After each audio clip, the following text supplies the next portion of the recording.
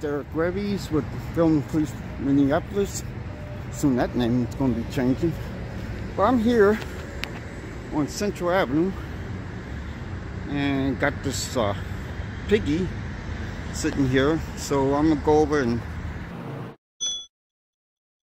ask them uh, the questions that they ask.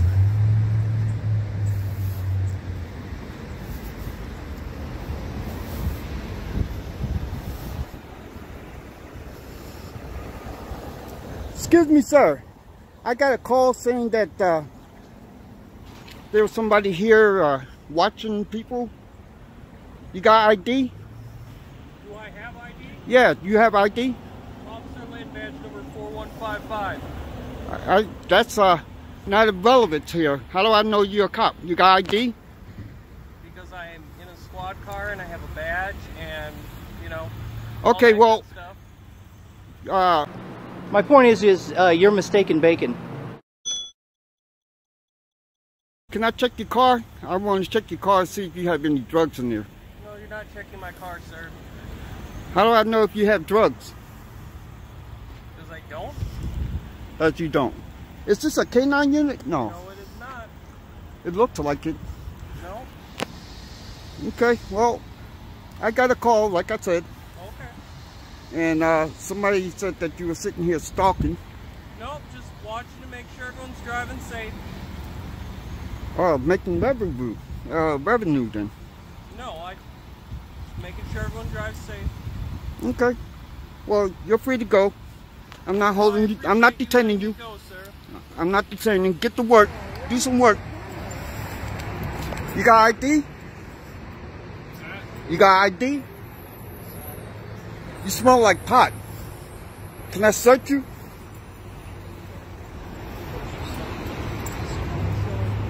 You got any guns, weapons, bombs?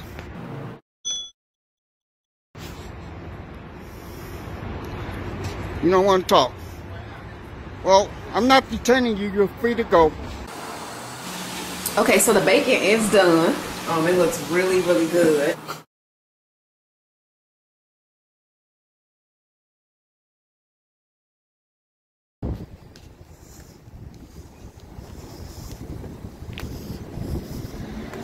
You got ID?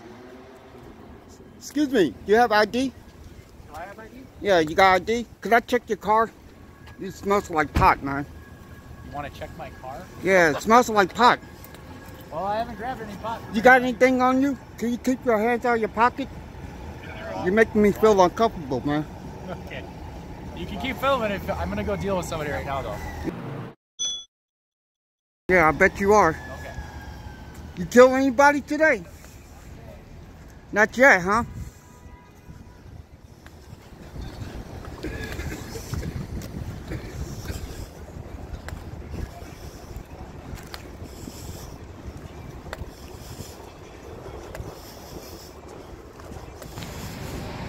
Excuse me. Yeah, ID? You got ID?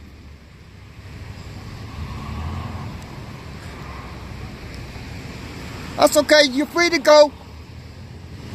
I'm not detaining you.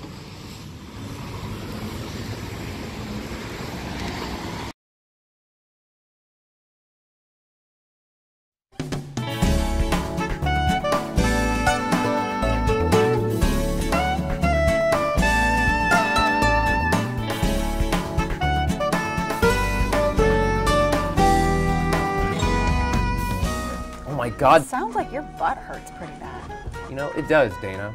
It really does. Well, you know what? I have some good news for you. There's this new product out there just for this sort of thing. It's called butt hurt cream. Okay. Yeah. Uh, butt hurt cream is, it's like this new medicine and it helps you, it really helps you out when you get a bad case of butt hurt. You know, trolling got you down, Republicans getting to you. Wow. Happens to me literally all the time. I know. I mean, your butt really takes a beating. I mean, it's, it's like your butt is really getting worn out. I've never seen a butt take so much abuse. I mean, your butt is like a welcome mat. I get the picture. All right, so all you have to do is squeeze out two fistfuls of butt hurt cream and you just apply it directly to the hurt area. Oh yeah? Two fists? Yeah, that's all it takes. Oh, yeah.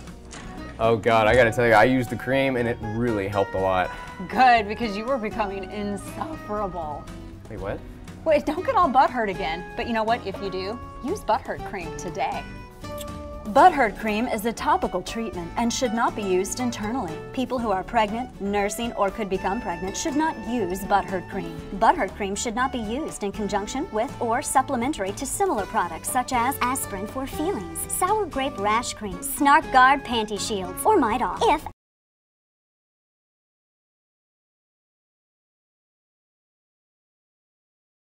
Realistic and real simple solutions. Everything from great deals on vitamins, supplements, and fitness monitors to helpful online tools. At the corner of happy and healthy.